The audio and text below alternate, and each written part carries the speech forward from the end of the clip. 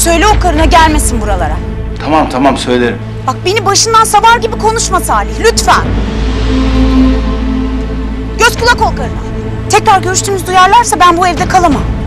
Duyuyor musun beni? Ya tamam söylerim dedim ya. Zaten başımdan aşkın bütün derdim. Bir de o çıktı. Ne kadersizmişim, ne şanssızım ben ya. Zaten beni bıraktığın o gün benim kaderim değişti. Senin yüzünden. Bütün her şeyin sebebi sensin. Ben yüzümü bir yıkayayım. Ararım sonra olur mu? Dinlemiyorsun bile beni. Senin için hava hoş tabii. Bahaneyle karından da kurtuldun. Benim burada ne çektiğim umurunda bile değil senin. Çekme o zaman defol git.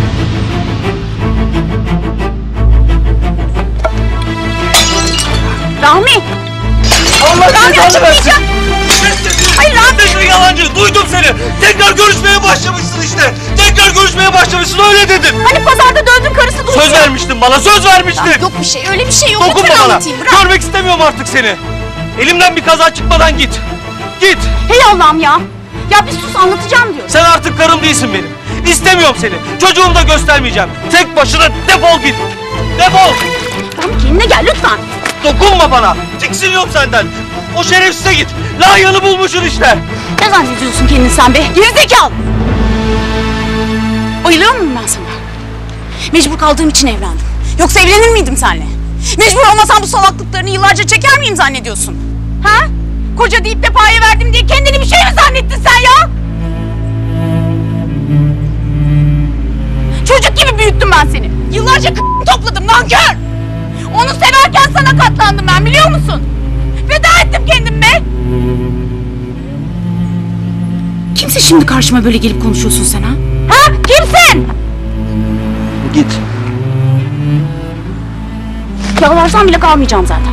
Bitti! Bitti işte!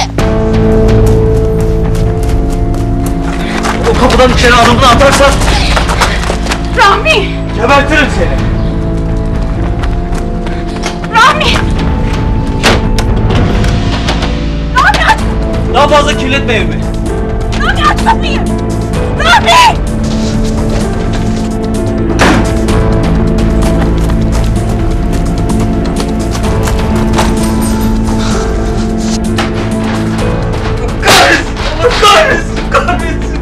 vermiştim. Söz vermiştim. Allah kahretsin. Kahretsin.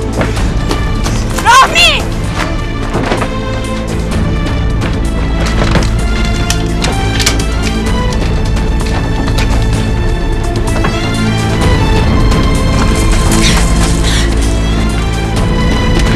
Devam! Rahmi aç kapıyı! Rahmi! Rahmi aç kapıyı! Ne bakıyorsun size be?